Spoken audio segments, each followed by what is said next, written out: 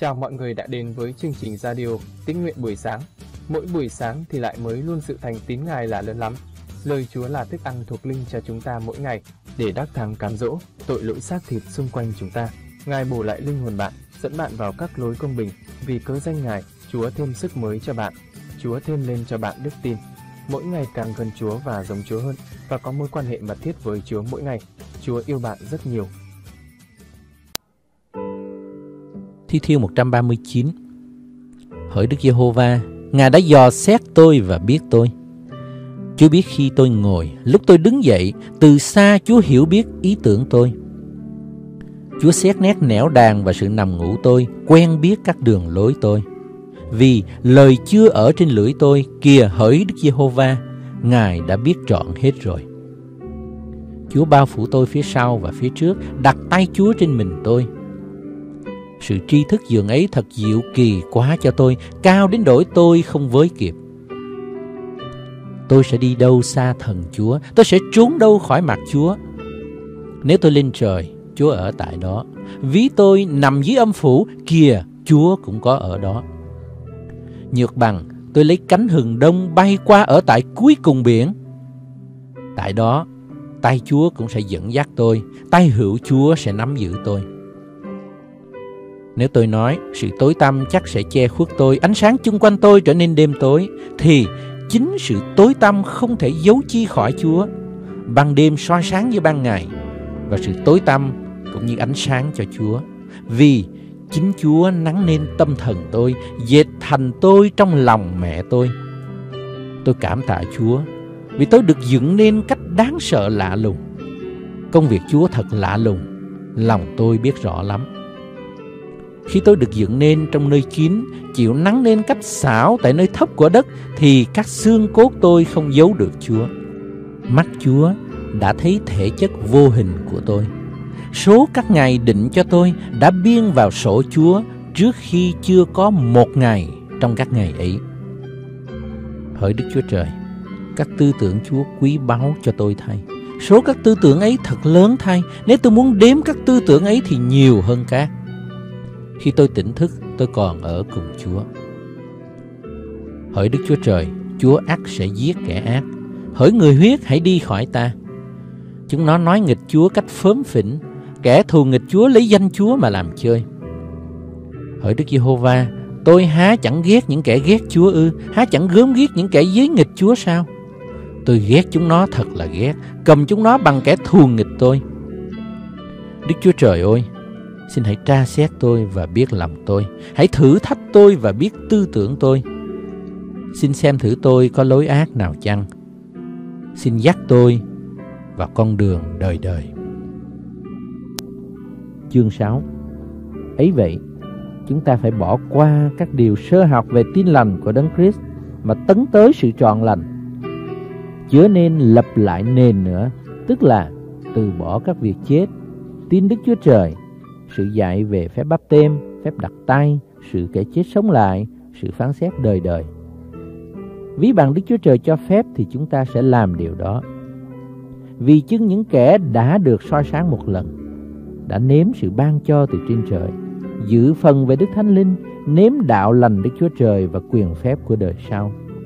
Nếu lại vấp ngã thì không thể khiến họ lại ăn năn nữa vì họ đóng đinh con Đức Chúa Trời trên thập tự giá cho mình một lần nữa, làm cho Ngài sỉ nhục tỏ tường. Và một đám đất nhờ mưa đượm nhuần mà sanh cây cỏ có ích cho người cày cấy, thì đất đó hưởng phần phước lành của Đức Chúa Trời. Nhưng đất nào chỉ sanh ra những cỏ rạ gai gốc thì bị bỏ và hầu bị rủa, cuối cùng phải bị đốt. hỡi những kẻ rất yêu dấu, Dẫu chúng ta nói vậy, vẫn còn đứng trông đợi những việc tốt hơn từ nơi anh em là những việc đưa đến sự cứu rỗi. Đức Chúa Trời không phải là không công bình, mà bỏ quên công việc và lòng yêu thương của anh em đã tỏ ra vì danh Ngài, trong khi hầu việc các thánh đồ và hiện nay đương còn hầu việc nữa. Nhưng chúng ta mong rằng mỗi người trong anh em tỏ lòng sốt sắng như vậy, đang giữ lòng đầy dẫy sự trông cậy cho đến cuối cùng để nỗi anh em không trễ nải nhưng cứ học đòi những kẻ bởi đức tin và lòng nhịn nhục mà được hưởng lời hứa.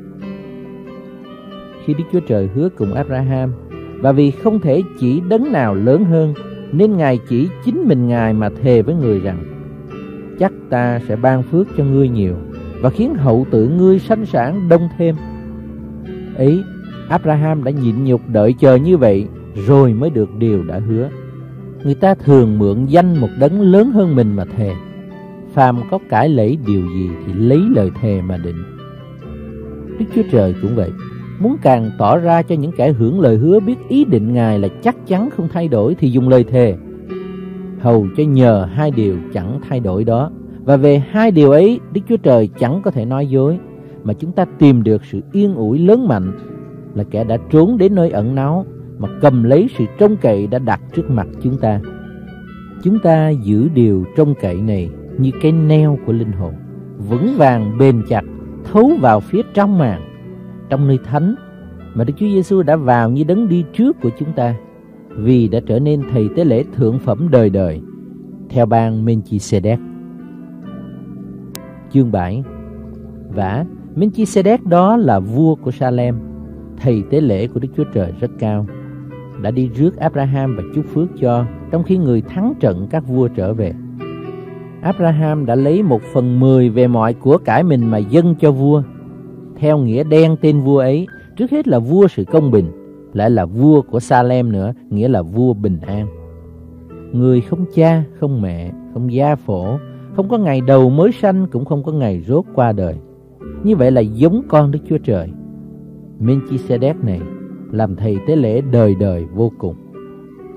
Hãy nghĩ xem, chính tiên tổ là Abraham đã lấy một phần mười trong những vật rất tốt của mình chiếm được mà dâng cho vua, thì vua tôn trọng là giường nào? Những con cháu họ Lê Vi chịu chức tế lễ theo luật, có phép thâu lấy một phần mười của dân, nghĩa là của anh em mình, vì chính họ cũng từ Abraham mà ra. Nhưng vua vốn không phải đồng họ cũng lấy một phần mười của Abraham và chúc phước cho kẻ được lời hứa. Và người bậc cao chúc phước cho kẻ bậc thấp, ấy là điều không cãi được. Lại đằng này, những kẻ thâu lấy một phần mười đều là người hay chết. Còn đằng kia, ấy là kẻ mà có lời làm chứng cho là người đang sống. Lại có thể nói rằng, Levi là kẻ thâu lấy một phần mười đó, chính mình người cũng bởi Abraham mà đóng một phần mười. Vì lúc Melchizedek đi đón tiên tổ thì Lê Vi còn ở trong lòng tổ phụ. Nếu có thể được sự trọn vẹn bởi chức tế lễ của người Lê Vi vì luật pháp ban cho dân đang khi còn dưới quyền chức tế lễ, thì cớ sao còn cần phải dấy lên một thầy tế lễ khác lập theo ban Melchizedek, không theo ban Aaron? Chức tế lễ đã thay đổi thì luật pháp cũng cần phải thay đổi. Và đấng mà những lời đó chỉ về thuộc một chi phái khác. Trong chi phái đó chưa từng có ai dự việc nơi bàn thờ. Vì thật rõ ràng Chúa chúng ta ra từ Juda. Về chi phái ấy, Môi-se không nói điều chi về chức tế lễ. Mọi điều đó càng thêm rõ hơn nữa khi chúng ta thấy một thầy tế lễ khác dấy lên giống như Melchizedek, lập lên không theo luật lệ của điều răng xác thịt, nhưng theo quyền phép của sự sống chẳng hay hư hay hết.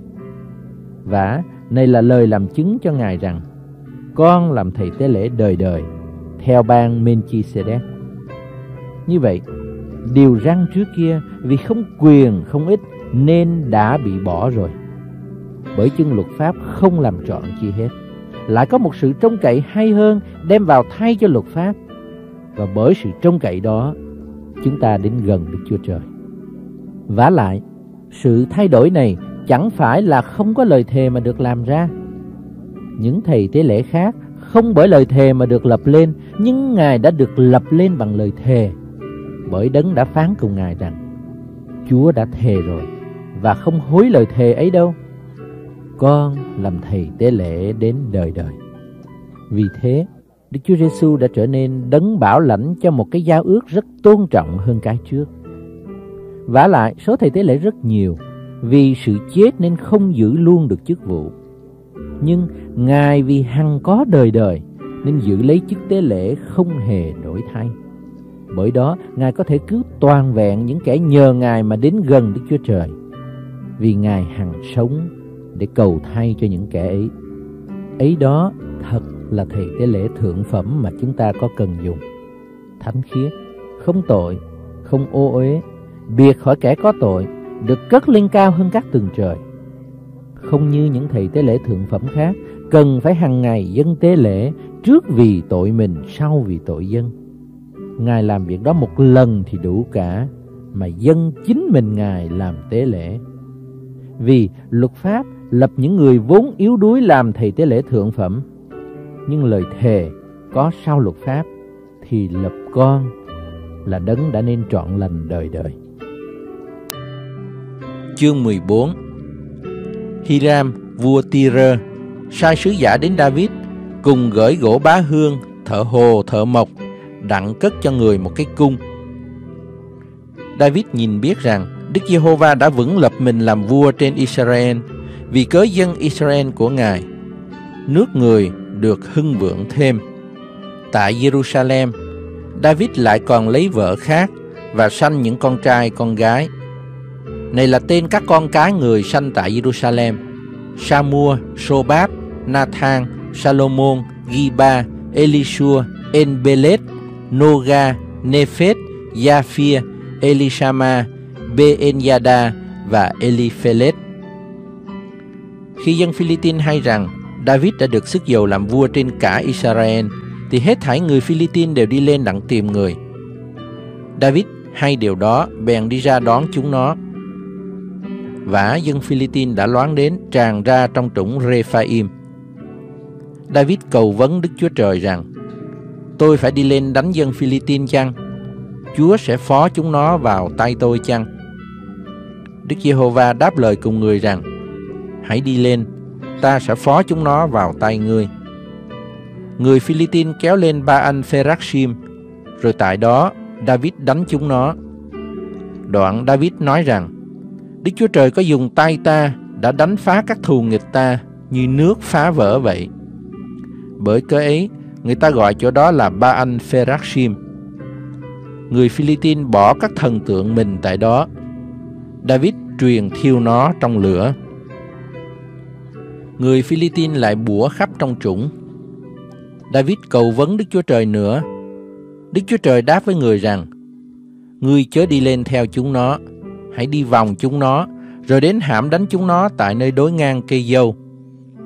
Vừa khi ngươi nghe tiếng bước đi trên ngọn cây dâu, bây giờ ngươi sẽ kéo ra trận, vì Đức Chúa Trời ra trước ngươi đặng hãm đánh đạo quân Philippines. David làm y như lời Đức Chúa Trời đã phán dặn. Họ đánh đuổi đạo quân Philippines từ Gabaon cho đến Gese. Danh của David đồn ra trong khắp các nước. Đức Giê-hô-va khiến cho các dân tộc đều kính sợ David. Chương 15 David cất cho mình những cung đền tại thành David và sắm sửa một nơi cho hòm của Đức Chúa Trời cùng dựng nhà trại cho hòm ấy.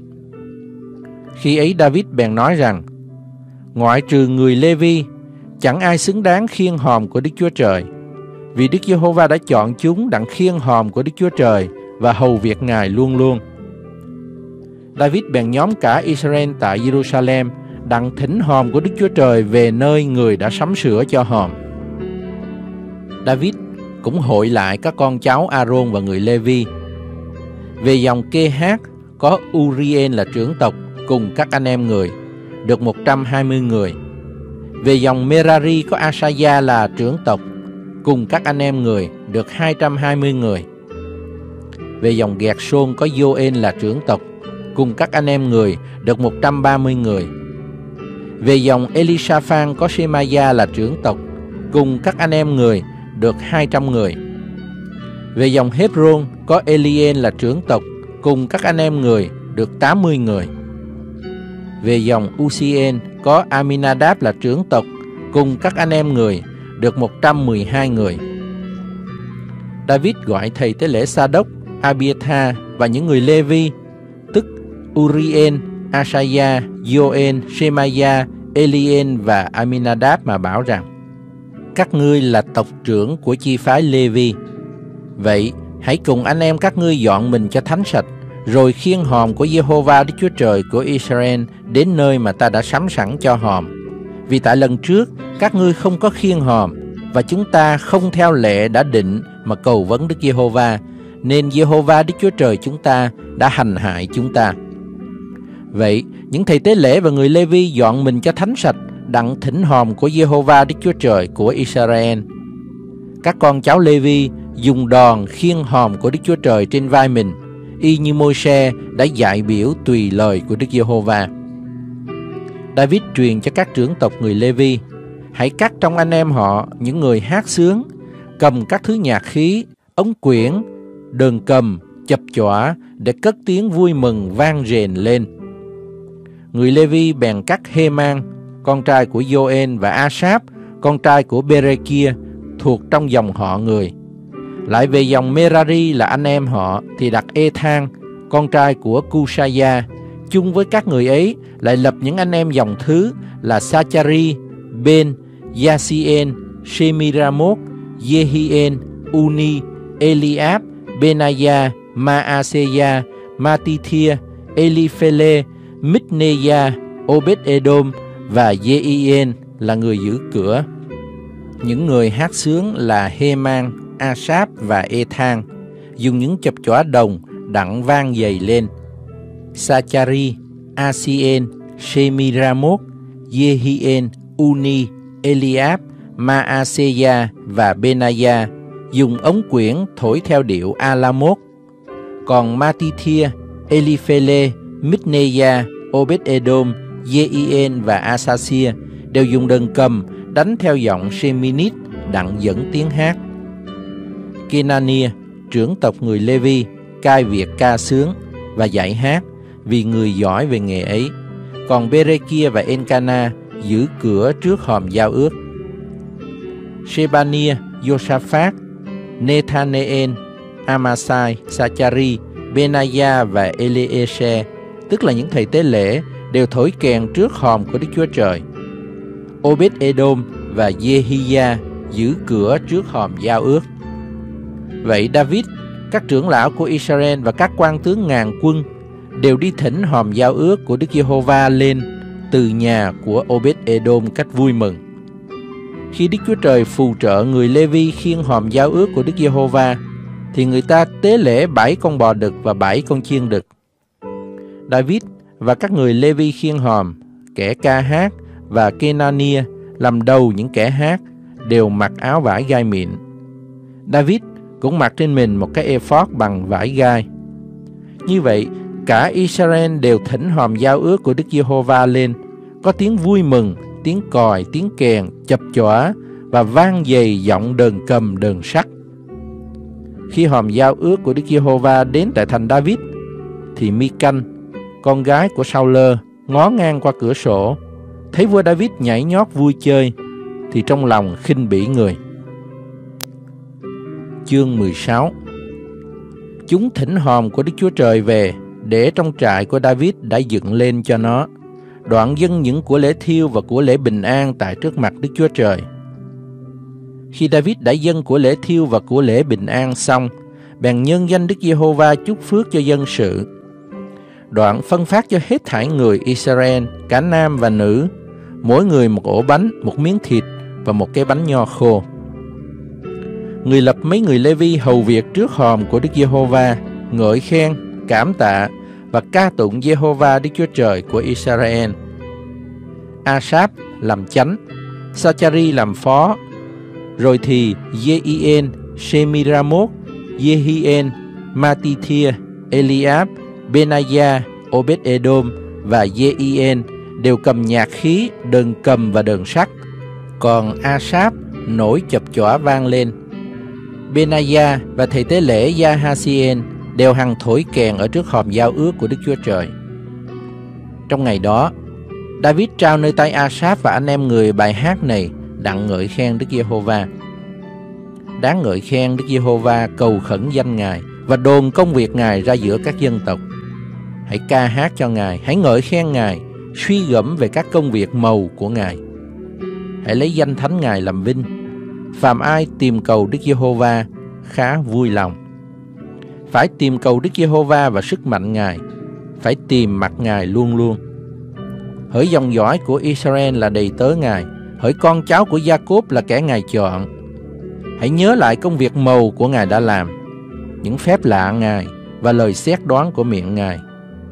Ngài vốn là Jehovah Đức Chúa Trời của chúng ta. Sự xét đoán Ngài làm ra khắp thế gian. Khá nhớ đời đời sự giao ước Ngài và mạng lệnh Ngài đã định cho ngàn đời.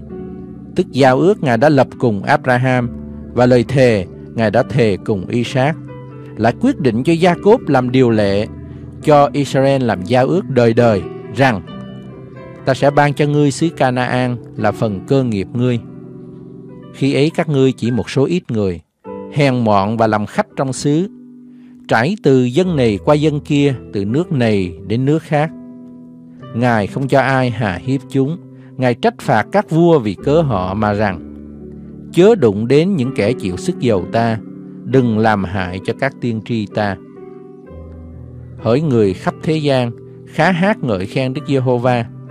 Ngày ngày hãy tỏ ra sự chứng cứu của Ngài. Trong các nước, hãy thuật sự vinh hiển của Ngài. Tại muôn dân, khá kể những công việc màu của Ngài, vì Đức Giê-hô-va là lớn, rất đáng ngợi khen, đáng kính sợ hơn các thần. Vì các thần của những dân tộc vốn là hình tượng, còn Đức Giê-hô-va dựng nên các tầng trời. Ở trước mặt Ngài có sự vinh hiển oai nghi, tại nơi Ngài ngự có quyền năng và sự vui vẻ. Hỡi các dòng của muôn dân, khá tôn Đức Giê-hô-va vinh hiển và quyền năng. Khá tôn Đức Giê-hô-va vinh hiển xứng đáng danh Ngài, đem lễ vật đến trước mặt Ngài. Hãy mặc lấy trang sức thánh khiết mà thờ lại Đức Giê-hô-va. Hỡi khắp thiên hạ, khá run sợ trước mặt Ngài. Thế giới cũng được vững bền, không sao lay động. Các tầng trời hãy vui mừng, trái đất khá hỷ lạc. Còn trong các nước, người ta đáng nói, Đức Giê-hô-va quản trị. Biển và mọi vật ở trong phải dội tiếng lớn lên, đồng nội và vạn vật trong nó đều khá vui vẻ. Bây giờ, các cây cối trong rừng sẽ hát mừng rỡ trước mặt Đức Giê-hô-va, vì Ngài đến đặng xét đoán thế gian. Hãy cảm tạ Đức Giê-hô-va vì Ngài là nhân từ, sự thương xót Ngài còn đến đời đời. Hãy nói, hỡi Đức Chúa Trời, đấng chứng cứu chúng tôi, xin hãy cứu rỗi chúng tôi, hiệp chúng tôi lại và giải thoát khỏi các nước, để chúng tôi cảm tạ danh thánh Chúa và nhờ sự ngợi khen Chúa mà lấy làm được vinh. Đáng khen ngợi Jehovah Đức Chúa Trời của Israel từ đời đời cho đến đời đời. Cả dân sự đều đáp rằng Amen và ngợi khen Đức Giê-hô-va. Vậy, David đặt Asaph và anh em người tại đó trước hòm giao ước của Đức Giê-hô-va, hầu cho mỗi ngày phục sự luôn luôn ở trước hòm, làm việc ngày nào theo ngày nấy. Cũng đặt Obed-Edom và anh em người làm kẻ giữ cửa, số được 68 người. Và Obed-Edom, con trai của Jeduthun cùng Hosa. lại đặt thầy tế lễ cả Sa đốc và anh em người là những thầy tế lễ ở trước đền tạm của Đức Giê-hô-va tại nơi cao trong Gabaon, đặng sớm mai và chiều hằng dâng những của lễ thiêu cho Đức Giê-hô-va tại trên bàn thờ của lễ thiêu, tùy theo các điều chép trong luật pháp của Đức Giê-hô-va mà Ngài đã truyền dạy cho Israel. Với chúng có đặt Hê-man, Giê-đu-thun và những người đã được chọn khác, gọi từng danh đặng ngợi khen Đức Giê-hô-va vì sự thương xót Ngài còn đến đời đời. Còn Heman và Jeduthun cầm những kèn và chập chỏa để làm nó vang dày lên cùng các nhạc khí dùng về bài ca hát của Đức Chúa Trời. Các con trai của Jeduthun thì đứng tại nơi cửa. Cả dân sự đều đi, mỗi người trở về nhà mình, còn David trở về đặng chúc phước cho nhà người. Cảm ơn Chúa lời của Ngài bày tỏ cho con. Thì giờ này chúng ta đến với Chúa trong sự cầu nguyện. Xin Thánh Linh Chúa, hãy bày tỏ cho con biết, Ngài dạy dỗ hay ấn chứng cho con điều gì qua lời của Ngài. Xin lời của Ngài được linh hồn con ăn nuốt vào trong tấm lòng và tâm trí của con mỗi ngày thêm lên lời của Ngài, để linh hồn con được tăng trưởng, thêm lên đức tin đặt để nơi Ngài. Xin Chúa cho con biết về Ngài nhiều hơn và con khát khao mối quan hệ mật thiết với Ngài nhiều hơn. Lạy Chúa con cảm ơn Ngài, mỗi ngày mới ngày ban cho con hơi thở để tiếp tục sống trên đất này. Con nguyện huyết báo của Chúa Giêsu Christ thanh tẩy, tẩy sạch, bôi xóa những suy nghĩ, tư tưởng, hành động trong tâm trí, trong tấm lòng của con như ấy là gian dâm, ô uế, lung tuồng, thờ hình tượng, phù phép, thù oán, tranh đấu, ghen ghét, buồn, giận, cãi lẫy, mất bình, bè đảng, ganh gổ, say sưa, mê ăn uống, cùng các sự khác giống như vậy. Con nguyện xin dòng huyết báo của Ngài tẩy sạch bôi xóa sự xác thịt của con không đẹp lòng Ngài ra khỏi con ngay giờ này. Bây giờ con được thánh sạch đứng trước mặt Ngài. Con nguyện Thánh Linh Đức Chúa Trời đổ đầy, đầy dẫy con Chúa ơi, những bông trái của Thánh Linh, ấy là lòng yêu thương, sự vui mừng, bình an nhịn nhục, nhân từ, hiền lành, trung tín, mềm mại, tiết độ đầy dẫy trên con. Con xin Chúa thêm sức mới, thêm đức tin cho con. Xin Chúa dẫn dắt con để con đắc thắng một ngày mới trong ngày. Con cảm ơn Chúa, con dâng mọi vinh hiển tôn quý lên ba ngôi Đức Chúa Trời toàn năng và phước hạnh con nhận lãnh từ nơi Ngài. Và con thành kính dâng lên cha lời cầu nguyện trong danh Chúa Giêsu Christ. Amen. Cảm ơn bạn đã nghe chương trình Tĩnh Nguyện Radio buổi sáng. Bạn ủng hộ chương trình bằng cách like, chia sẻ chương trình tĩnh nguyện rộng rãi trên mạng Internet cộng đồng. Cảm ơn bạn. Hẹn bạn tĩnh nguyện tiếp theo. Chúa yêu bạn rất nhiều.